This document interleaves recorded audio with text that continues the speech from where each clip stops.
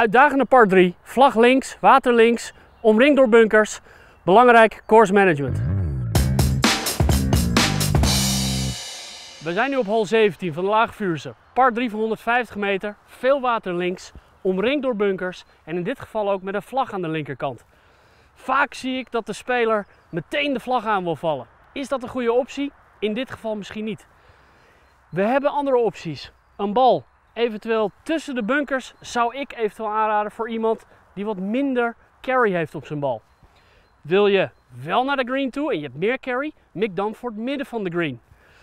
In dit geval met deze pin, zoals in het Engels, een zakkerpin, vermijd die vlag. Want we willen de bal niet in het water hebben. Dus ik zorg ervoor dat ik naar het midden van de green ga.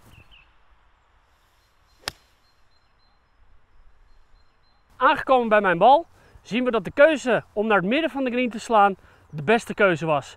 Ik heb een mooie put voor birdie. Als ik iets meer op rechts had geslagen had ik ook genoeg green. Had ik ook een birdie kans. Iets langere put. Maar belangrijkste, het water links vermeden.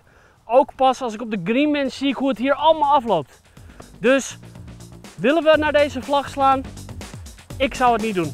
Midden van de green of iets rechts.